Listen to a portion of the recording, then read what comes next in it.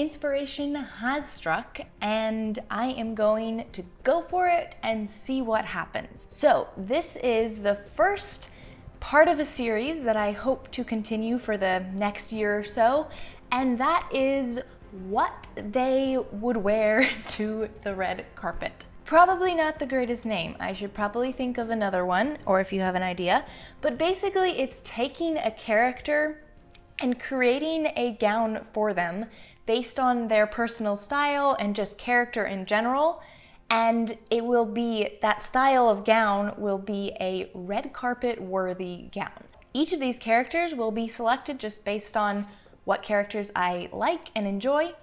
And then this particular one kind of came at random. And at first I was like, I don't think I have any ideas for it because her outfits aren't always my style. But my brain started thinking and I thought of an idea. This character is Black Widow. I was looking at her outfits and kind of just thought of an idea of how to turn her outfits and her style into a red carpet gown. We're gonna start designing that dress and we'll see what happens and if it turns out the way I'm thinking it in my brain. So my inspiration is definitely gonna take the lines from her top of her um, jumpsuit and I'm definitely going to incorporate that into the final design. But with what I want to do for this bottom section of this gown is to add a skirt. So we're gonna keep the pants or leggings um, to the outfit, but we're going to add a skirt. And then the skirt will start past the hips, or more like just at the hips. I don't wanna start it at the waist because that'll create more of a, I don't know, it'll just be the wrong style for Black Widow. But if we start it at the hips, I think it'll look good. And then something I definitely want to do is take the panels of the top, the bodice, and keep them going to create the skirt and the pants. Um, so we get a nice, we don't get any break for the the fall of the skirt and the bodice. I don't want it to look like there's an actual just skirt attached on top of this type of outfit. It needs to be really smooth and concise because I think that's a huge quality of Black Widow. But I definitely want to add that skirt feel so it's not just like the jumpsuit kind of thing. The thing is, I don't know what we're gonna do about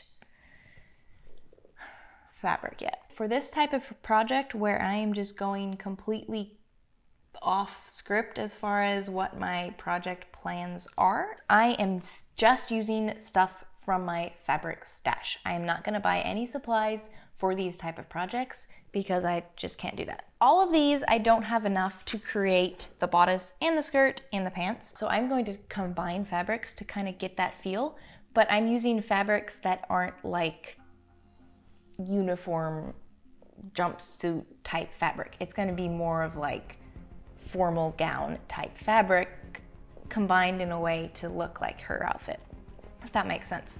But the skirt, well, that's hair on there. I think I'm going to use this fabric. The only thing is it is not pure black. It has a bit of gold in it, but then on the back side, we definitely have a lot of gold going on. But the front, or technically, I think it's supposed to be the opposite. This is technically the back. It definitely is more black with just a little bit of a hint of a gold shine showing through. So I haven't decided yet if I'm going to embrace that gold look to this outfit and like leave this on the back of the skirt or if I'll try and cover the gold um, so that you don't get as much gold showing through. So we'll find out. I'm definitely going to do piping along the bodice lines. That is something her jumpsuit has and I really like that. It defines the pattern. Um, and then for the red, I am not sure what I'm gonna do yet. I have some tulle. I don't like using tulle, um, and I don't know if I have enough even, but I kind of like the idea of it being transparent, kind of. I then have just a basic red satin, but I don't think I have enough, so I probably won't use that. And then I've got this one, which has some gold stripes in it, but I don't like how matte this fabric is. I feel like you need something more vibrant and mm, just more Black Widowy. So that is the current idea, plan. Can you call it a plan? I don't know if you can call it a plan. So I don't know how this is going to turn out. We're accentuating the symbol of Black Widow by adding that skirt, I think. One thing, I am not working with very stretchy fabric, so I am going to cut most of my panels, I'm pretty sure, on a bias so you get that stretch that a bias gives you. Um, the tricky part with that is it makes eliminating wrinkles a bit harder um, just because you're dealing with that stretch now. So this could be a success or a failure, so find out as you continue watching this video. In order to create the pattern, I first assembled a basic block pattern. Once this fit me well, I then drew the lines that I wanted to have on the bodice onto this basic block. Then I just cut the mock-up apart on these drawn out lines, and what I ended up with was a bunch of little pattern pieces, and all I needed to do was to just add seam allowances to all these pattern pieces, reassemble it, and then I would get the same shape that that basic block pattern had originally, but now it's created with all these little pattern pieces.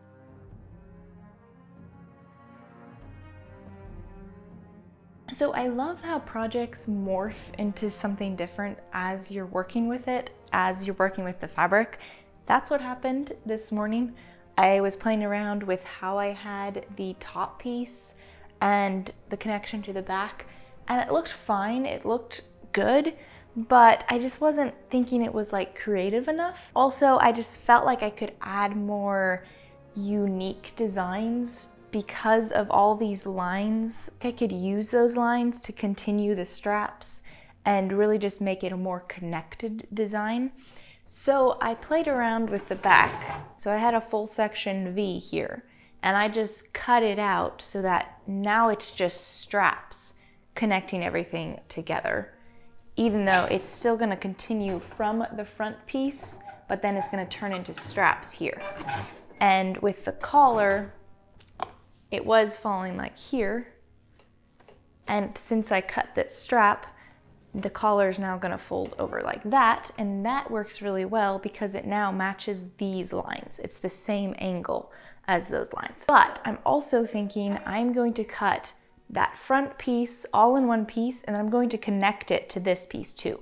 This will be all, these straps will be the same pattern piece going all the way down, if I can get it to work correctly.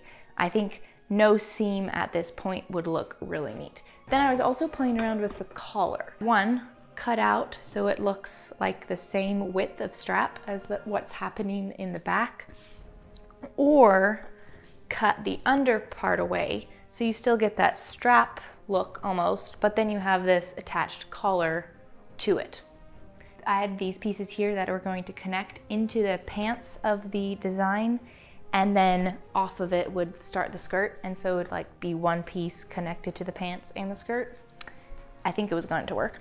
I decided to add this thin piece right here. This is not in the original, but to match that look on the front, I decided to insert a piece back here.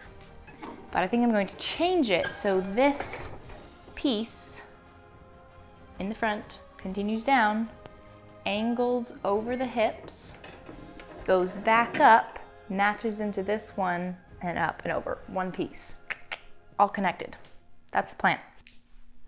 My ideas are spinning right now. So we'll see what happens.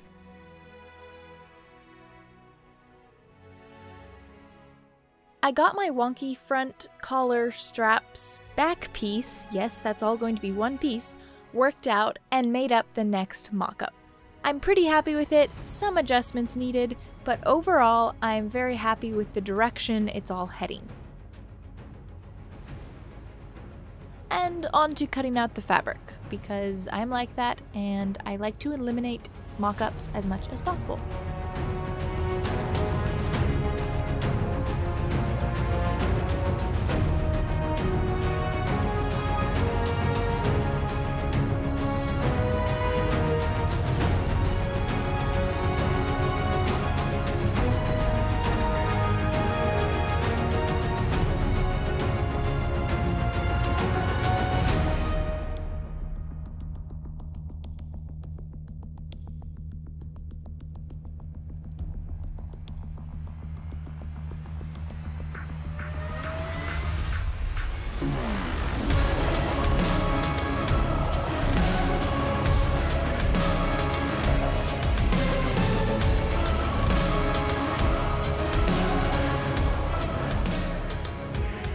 Desperate plans means desperate measures.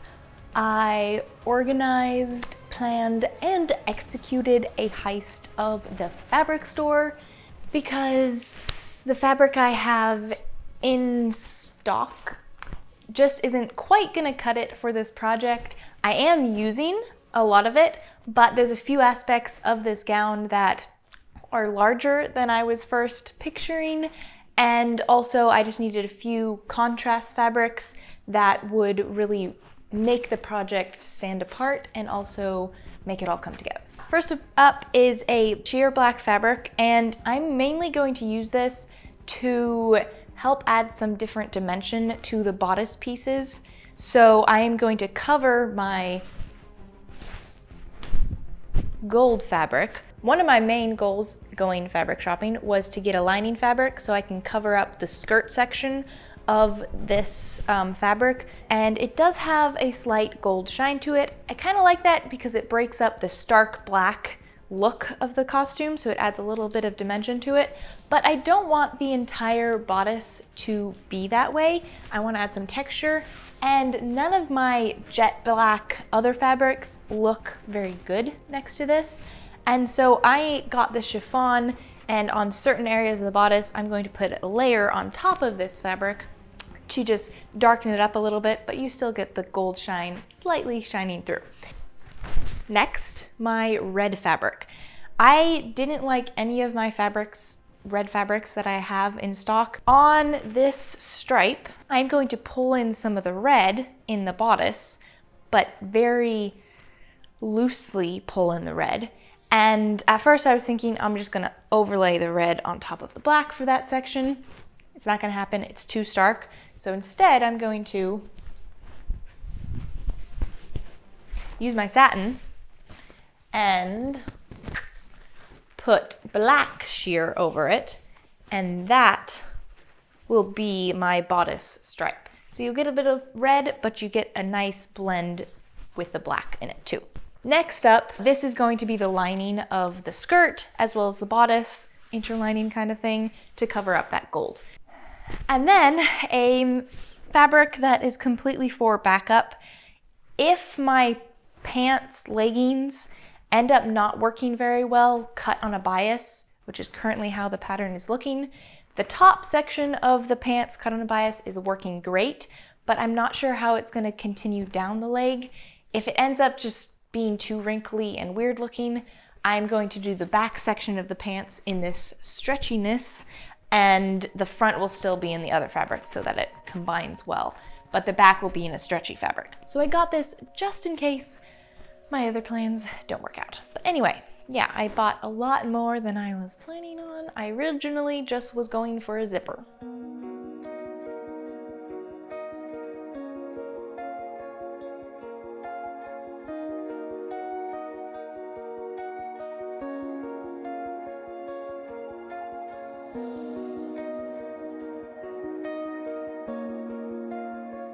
These new fabrics, I cut out the pieces I wanted out of each of them, and it's time to align the layers of each of the pattern pieces up and baste them all together. So some of these pattern pieces have two layers of fabric, and a few of them have three layers of fabric. So it's important to get those all laid up smoothly and then basted together before assembling the bodice.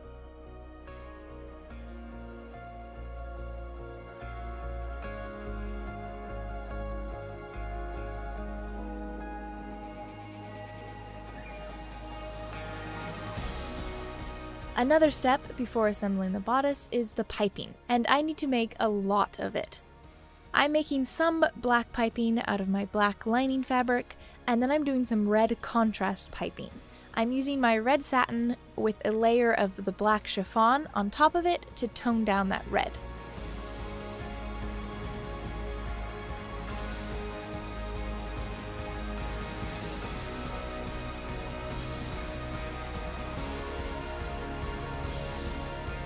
With all the different parts prepared, it's time to assemble. We've got a side piece, yes, that's a side piece, then a piece that is the side back, goes over the hips, and then creates the side side front. Next is a piece that creates just the side front, and then the red contrast piece goes down the front, over the hips, and up the back. And then, of course, the piping. I'm first going to attach the piping to some of the individual pattern pieces. The side piece gets both red and black piping. So first I'm doing the red, and I tried not cutting the piping as I go around the corners. It worked, but it just created way too much tension on the piece, so I ended up just snipping the piping at each corner, overlapping those ends, and continuing down the side. This also creates a neat little overlap design on each of these points.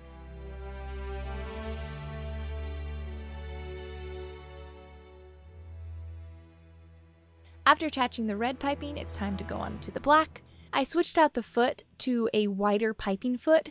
I first tried just placing the second piping in one of the second grooves of my other foot, but it just spaced the two piping pieces out too much. So to get these two piping pieces really nice and tight together, I found the fatter groove of the second piping foot a better option.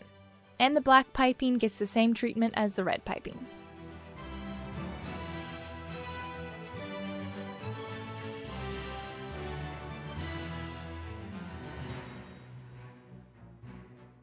For the red contrast piece, I decided to outline it with some piping.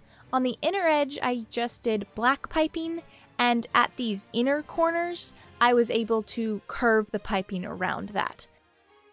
But on the outer edge, I did the snip and overlap method. And on the outer edge, I did black and red piping.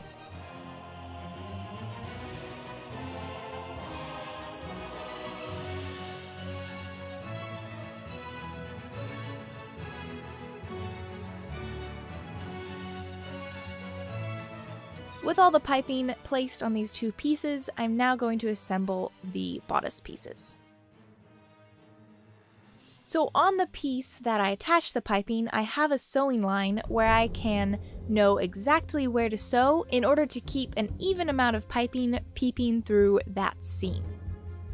And of course, we've got a lot of corners to work around, but the method for getting around the corners was to just stop the needle in the down position, twist the fabric around, make sure everything was laying smoothly, and then continue down that side. And repeat for each of the corners that I have on these pattern pieces.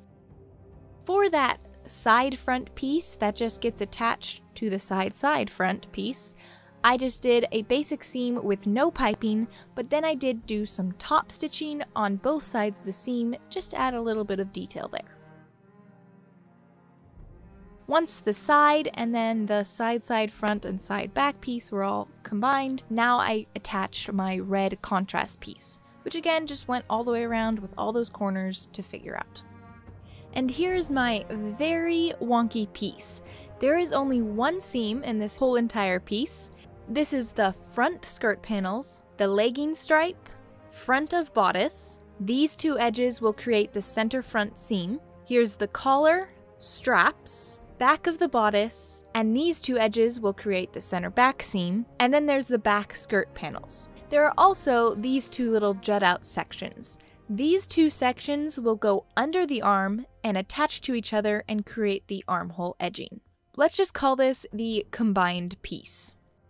Now I'm going to place my lining fabric on top of this and align all the parts. With the lining fabric, I added a second seam because it just saves some fabric. Now there's a whole lot of basting to do. Before attaching this large piece to the previously prepared bodice pieces, I am going to add some details to the section which falls under the collar. I decided to cut a triangle shape out of this area and fill it with the black chiffon.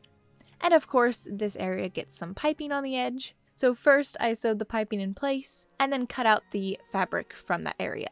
Then I carefully place some chiffon and making sure it smoothly lays in the area that got cut out.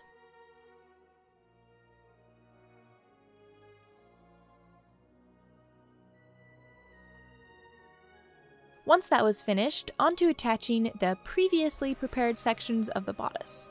So I've got those placed, and now I'm going to sew up that center back seam.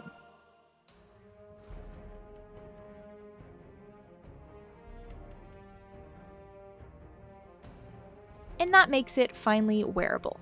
Now there's just a bunch of raw edges to finish up, for the bodice at least.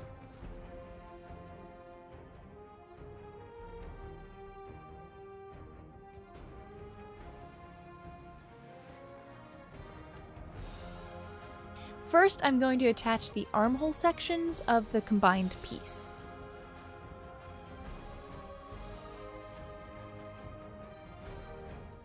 The straps and collar are all going to be edged in piping, of course. After getting that piping attached, I need to finish up the collar. Because the collar gets folded over and reveals the lining fabric, a section of the gold fabric needs to be attached to the wrong side of the collar, so that is what gets revealed when the collar gets turned over. But anyway, the edges get trimmed down, and this is going to get turned right sides out. But first, with the point of the collar, I am going to thread some thread through the point, just catching on to a couple of the sewing stitches.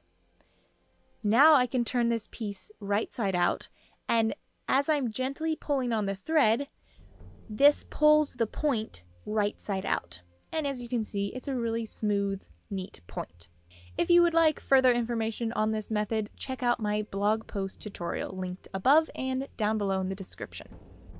With all the raw edges on the bodice and straps, I'm doing a catch stitch to secure the seam allowances in place. Once finished, the bodice is close to being called complete. I now moved on to the pants. These started off being made of various pieces and fabrics, including a red stripe at the center back, but then got quickly transformed to just using the stretchy fabric for the entire leggings, excluding the stripe that runs down the center front of the leggings, which is part of the combined piece. Onto the skirt, each skirt panel is going to be separate from each other, so all the raw edges of each skirt panel need to be finished. My method was to put right sides together of the fashion fabric and the lining fabric of each skirt panel, sew the side seams, and then turn the panel right sides out and then I understitched these seams.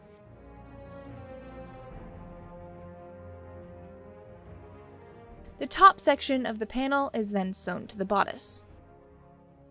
And here you can see some underlap I've got going on with the skirt panels. So most of the top sections of the skirt panels overlap each other. I just kind of liked the idea of this, except at the side and also the back pieces. I chose to do this wonky back weave thing for the center back panels. At the top of the panels, I divided it into two sections, and then I wove the sections together, and then sewed it into that back area. Not filmed is my very hasty hemming of all the skirt panels and inserting the zipper. The zipper goes from the pants up to the top of the bodice.